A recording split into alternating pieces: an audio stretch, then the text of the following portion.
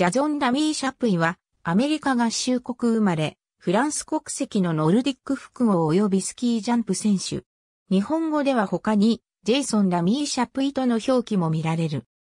スキージャンプ選手のロナン・ダミー・シャプイはいとこである。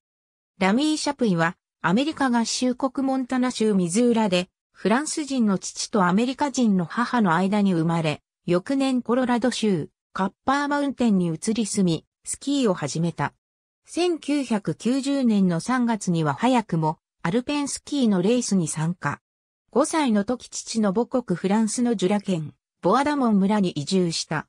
フランスに移り住んだ後も引き続き、アメリカのナスタースキーレースに参加した。また、飛行機の操縦を趣味とし、18歳の時から訓練を受け70時間の飛行経験を持つ。彼の公式ウェブサイトも飛行機の操縦席を模したものとなっている。2009から2010シーズンにはパイロットのライセンスを取得する計画を立てている。また、彼はフランスの国境警備隊に勤務している。ジュニア時代から国際大会でも活躍し、2003年ノルディックスキージュニア世界選手権では団体戦で銅メダルを獲得。2004年2月28日のホルメンコーレンスキー大会を兼ねたスプリントで、ノルディック複合ワールドカップにデビューして27位となった。翌シーズンの2005年、ノルディックスキー世界選手権では、グンダー戦33位、スプリント21位、団体7位、続く2005年ジュニア世界選手権では、グンダー戦8位、スプリント6位、団体銀メダルを獲得した。2005から2006シーズンは開幕戦のグンダー戦で4位となった他スプリントで2度3位に入るなど好調を維持してトリノオリンピックに出場し、グンダー戦11位、スプリント4位、団体5位となった。シーズン最終戦のスプリントでワールドカップ初勝利、シーズン総合5位となった。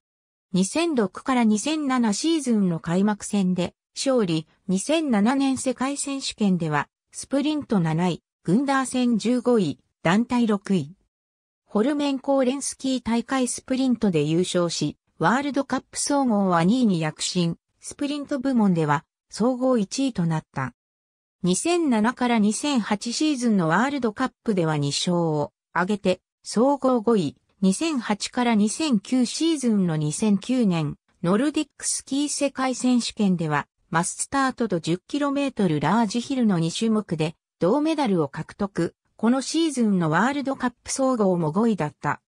2009から2010シーズンはワールドカップ開幕戦で勝利するなどオリンピックまでに5勝を上げ総合トップでバンクーバーに乗り込んだ。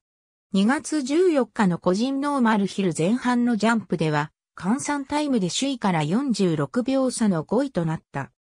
後半のクロスカントリーは5番目のタイムで走り、アメリカ合衆国のジョニー・スピレーンをわずか0.4秒差でかわして金メダルを獲得した。団体では5位、個人ラージヒルでは18位に終わった。オリンピック後のホルメンコーレンスキー大会でも勝利し、ワールドカップ総合優勝も達成。その後、2010から11及び2011から2012シーズンも総合優勝して3連覇を達成している。